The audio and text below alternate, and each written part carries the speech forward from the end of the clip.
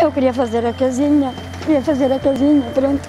Dava-me dava alegria. Eu não tenho alegria nenhuma. Se fizesse a casa para mim, era uma alegria que me dava. Um mês depois dos incêndios de outubro e as marcas ainda são visíveis. Emília Fernandes, moradora em Merufe, ficou sem casa, sem animais, ficou apenas com a roupa que trazia vestida.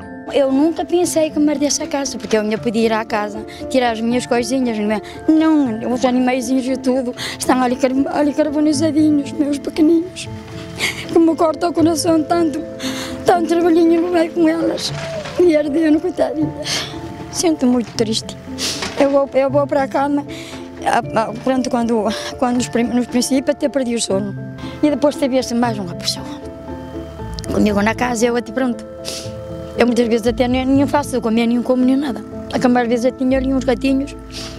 E é por causa deles que eu às vezes que, que faço de comer ou assim. Mas não apetece para uma sozinha, sozinha, então eu não faço comer para mim. Antigamente, quando tinha a minha mãe, pronto, sabia que tinha de fazer para ela, também fazia para mim, não é? Emília Fernandes sente-se só e fala da falta de apoio a nível psicológico. Eu, no, no outro dia que fui a Monção, eu dei pedir a roupa emprestada, porque eu tinha tudo aqui, como estávamos a viver aqui, eu tinha tudo aqui em cima. Roupa de cama, tudo, tudo, tudo, tudo. Apoio psicológico tem recebido? Não. Ninguém veio cá oferecer-se para acompanhar, ajudar? Não, não, não, não. Eu até nem sei, porque eu às vezes até não sei o que faço. Às vezes só me apetece andar, andar, andar, andar e nem, nem me apetece trabalhar, não me apetece fazer nada, apetece mandar. Eu vou para um sítio que eu quero, eu sinto-me bem, por exemplo, estou a falar e, esqueço-me um bocado das coisas que, que me aconteceram. Ora estou sozinha, bate-me sempre a ideia. Choro e, e, e a minha vida. Também as comunicações tardam em ser repostas. Longos Vales e Merufe, por exemplo, estão há um mês sem telefone, televisão e internet.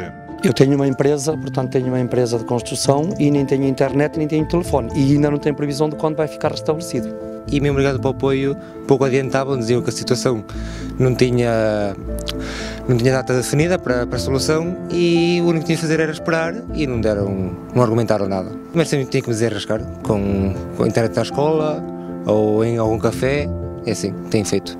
Os incêndios de 15 de outubro consumiram 4.300 hectares de floresta e deixaram perdas materiais de milhares de euros.